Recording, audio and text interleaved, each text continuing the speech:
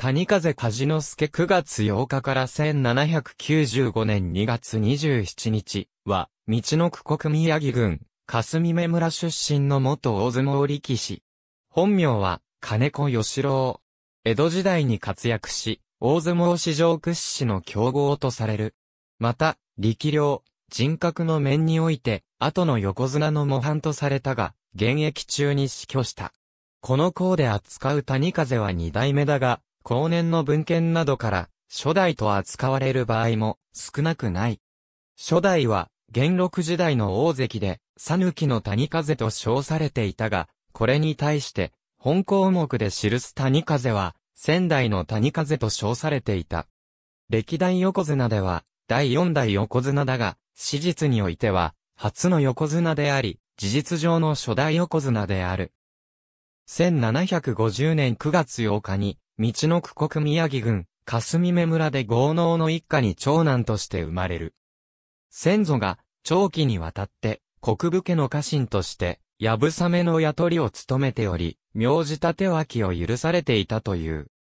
7歳の時、林家の主人だった、東兵衛から、あの俵を運べたら、それをやろうと言われて、玄米のごと票を持って運ぶと、幼いながらもその怪力に驚いた。東兵衛はすぐに謝罪し、その場にあった饅頭と取り替えた。入門前には、白川の酒造家に奉公していたが、通常は7人程度でようやく持ち上げられる酒を絞る、しめぎの天秤石をたった一人で持ち上げたと伝わる。1768年に力士となり、州の山と、四股名を名乗った。1769年4月場所には、伊達関、森上門、1770年11月場所に、前頭筆頭から再スタートを切ると徐々に自力を増し、1776年10月場所に2代目、谷風梶之助と、改名、1781年3月場所後に、大関へ昇進する。1784年には、江戸相撲の裏風余八に見出され、江戸に来ていた、雷電ため上門を預かり弟子として鍛え上げたほか、小野川木三郎や雷電と共に、最初の黄金時代を築いた。口述する、横綱制度や結びの一番終了後に取り行われる、弓取式など、現在も残る相撲界のしきたりの多くがこの時代に作られた。谷風は安永7年から前世紀に入り、4年以上土つかずの成績を続けた。その間に、聖望はカリスマ的なものとなり、江戸相撲最大の黄金時代の立役者となった。だが、当時はもちろん、近代になっても、数字的な記録への関心は低く、昭和10年代に、双葉山貞治が連勝を続けている時期に、ようやく比較対象として、谷風の記録が取り上げられるようになった。谷風の連勝記録を、池田正夫の作成した成績表によって整理すると、次の4通りの解釈によるものが考えられる。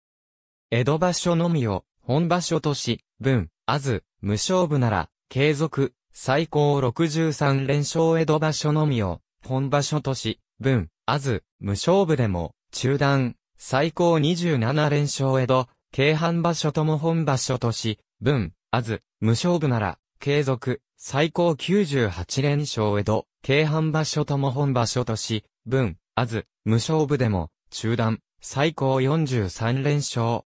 このうち、一般的に知られているのはの解釈によるもので、1782年2月場所7日目に、小野川木三郎に敗れるまで、江戸本場所では1778年3月場所、初日から、土着数の63連勝、小野川戦の翌日から43連勝を記録した。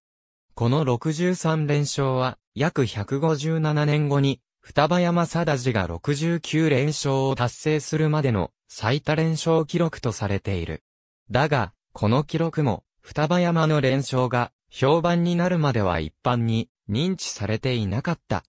双葉山が63、64連勝を達成した1938年5月場所10、11日目の朝日新聞の記事でも、谷風の記録は全く話題になっていない。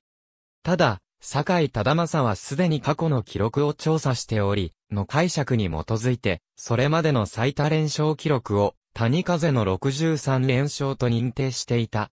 だが彼は、このことを双葉山に話したなら、そのために心を乱し固くなりはせぬかと、ことさら秘めて、64連勝が達成された日の夜に、初めて双葉にそのことを話し成功を祝したという。そして場所後、相撲誌に掲載した、双葉山と古今先人の比較で、双葉山が谷風の記録を破る、未曾有の新記録を樹立したと公表した。また、堺はこの時、谷風に続く記録が、梅ヶ谷藤太郎の59連勝、立山峰上門の56連勝であることも発表した。すると、当時存命していた立山は、西の海か二郎戦で負けたのは八百長だったが、連勝記録を知っていたら、八百長などしなかったと残念がったという。立山はこの西の海戦の前日まで43連勝、翌日から56連勝しているので、西の海に勝っていれば100連勝を達成していたことになる。立山の現役時代は記録への関心が薄く、谷風の連勝など全く知られていなかったことを示す逸話である。堺が認定して、以来、一般的にはの解釈によるものが、公認記録のごとく、扱われて、今日に至っている。しかし、池田正夫は1971年から相撲誌に連載した歴代横綱聖伝で、当時は江戸場所のみを本場所と扱うべきではなく、大阪2場所、京都1場所を加えた年5回の本場所制だったとする説を唱え、以後の解釈による記録も知られるようになった。この解釈によれば、1779年9月場所4日目から1782年2月場所6日目まで84連勝、7日目に小野川に敗れたが、翌8日目から1786年11月場所3日目まで98連勝を達成しており、2020年現在でも未だに破られていない最多記録となるを挟んでいるため、ふん、世でも連勝は中断されるとする解釈であれば、この時期の谷風の連勝は23に止まる。小野川との対戦で勝利していれば、江戸、京都、大阪を通じて183連勝を達成していることとなる。一方、のように、文、あず、無勝負でも中断するという解釈によれば、谷風の連勝は大きく減少する。これについて、坂井忠政は、江戸時代には、現在のような取り直し制度がなく、双葉山もその時代であれば両国梶之助戦での物言いや、玉錦佐上門戦での水入りが、分、あずになっていた可能性があることから、谷風の連勝を、分、あずなどで中断するのは酷であるとしている。だが、池田正夫は、預かりの相撲内容を、つぶさに検討すれば、谷風の不利の場合の方が目立って多い、確定処分に、勝負なし、揉めは大方負けなりと批評されていることから、双葉山に破られるまで157年間もレコードを保持したなどという論は成立しないという。能見正彦も、江戸時代は、文、あず、無勝負などの曖昧なルールが、横綱大関を傷つけないように用いられることが、しばしばあり、抱え大名の勢力関係によって、星が動かされていた可能性もあるとして、明治以前の連勝は参考記録に留めておくべきだとしている。歌丸が大関谷風と金太郎の首引き。谷風の後ろには高島屋お久、金太郎の後ろには南波屋起きた、行事は富本豊美奈が務め、完成三美人と共に描かれている。1789年11月19日、小野川喜三郎と共に、吉田司家から最初の横綱免許を授与された。これが事実上の横綱制度発祥とする見方が定説で、当時の錦絵には、市川團十郎などの歌舞伎役者や、当時の美女などと共に、谷風が描かれている。1791年6月11日には、徳川家成の上乱相撲で、小野川との取り組みを行い、この時に、将軍家から賜った弓を手に、土俵上で待って見せたのが、現在の弓取り式の始まりとされる。1795年1月9日、江戸全域で猛威を振るったインフルエンザによって、35連勝で現役のまま没した。44歳没。このことから風を谷風と呼ぶようになったと伝えられているが、正しくは、谷風が生前に、土俵上でわしを倒すことはできない。倒れているところを見たいのなら、わしが風にかかった時に来いと語った頃に流行っていた、流感を谷風と呼んだものである。死因となった流感は、ゴイカリ風と呼ばれたが、後に谷風と混同されるようになった。仙台市青葉区にある谷風の銅像谷風の没後、出身地である宮城県仙台市では、昔から利用で、わしが国差で見せたいものは、昔は谷風、今、伊達模様と歌われ、現在でも伝わっている。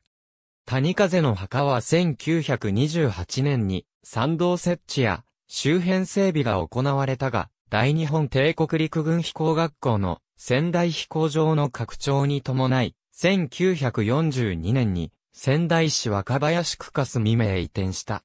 2011年3月11日に発生した東日本大震災で墓石が大きく動いたが、幸いにも背後の木に支えられて、倒壊を免れた。なお、墓の東方には、霞目あざ谷風という地名が残るほか、仙台駅西口には、谷風2との愛称が付けられた道路がある。仙台市青葉区の高等大公園には、谷風像が設置されている。新横綱が誕生してから最初に行われる仙台巡業の際には、この谷風像の前で新横綱による土俵入りを奉納するのが恒例となっている。横綱としての力量だけでなく、人間的にも立派で、品格抜群であるために、谷風は、歴代横綱の第一人者と称され、実質的な初代横綱として、模範とされる大横綱である。天下無双の大横綱にふさわしい実績から、四股名、谷風は2019年現在においても、止めなとされており、1901年1月場所、終了後に、大砲万上門が横綱に昇進する際に、周囲から襲名を進められたが、笑い物になりたくないと言って誇示したという。前世紀の体格は、身長189センチメートル、体重 169kg のあんこ型で、旅の中には、白米が一升五合入ったと言われる。また、谷風の末裔の家に保管されている大腿骨は約48センチメートルあり、大腿骨は法医学的には身長の1、4ほどと言われているが、4倍すると192センチメートルとなり、言い伝えられている身長が決して誇張ではないことを示す証拠となっている。なお、谷風のものと伝えられている手形を記載した江戸時代の書物も存在する。実力、品格の反面、晩年は大変気難しい部分もあったとされており、1790年に入った頃には15歳程度だった妾が取りなさないと稽古場にも現れなかったという事実が数々の古典や文献に記されている。